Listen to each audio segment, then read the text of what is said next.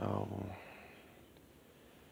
essentially, I will not be making videos for a few days because my grandparents are coming down. And if you don't know about my grandparents, they're essentially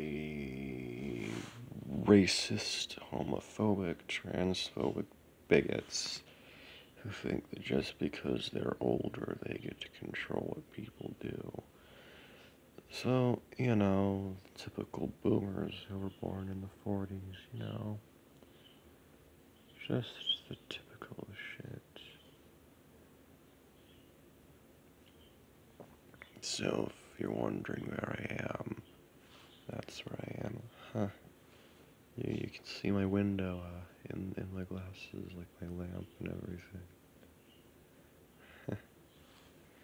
Anyway, uh, see ya.